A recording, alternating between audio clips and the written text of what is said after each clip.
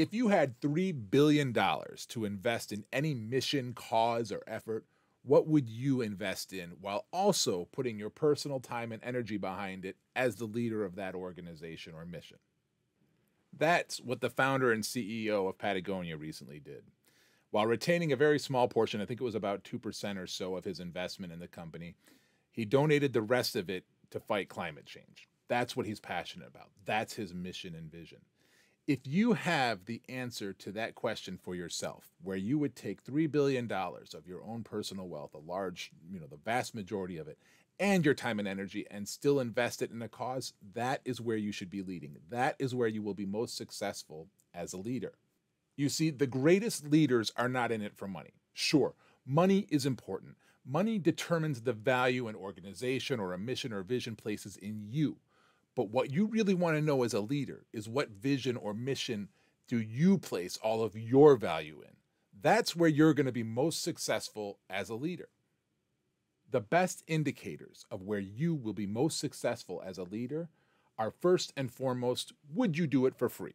We've probably all heard that before, right? Would you do the same level of effort? Would you lead the same mission or vision that you're currently leading if it wasn't paying you money? The second is if you feel it's a calling. Now, whether you believe in God, Allah, or some other deity or something, whatever you believe in, maybe you're atheist or maybe you're agnostic, that's fine too.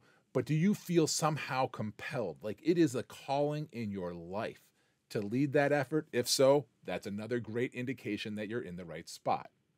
Last, and certainly not least, is what you're doing making the world a better place? Now, I know that can sound a bit altruistic to some of you, but for most of us, that should be a core component of what we do in this world. Before we leave this earth, one way or another, did we leave it a better place? If you have those three components in what you're doing as a leader, then you are leading in the right spot. And you are leading where you are most likely to be the most successful leader for that position. $3 billion.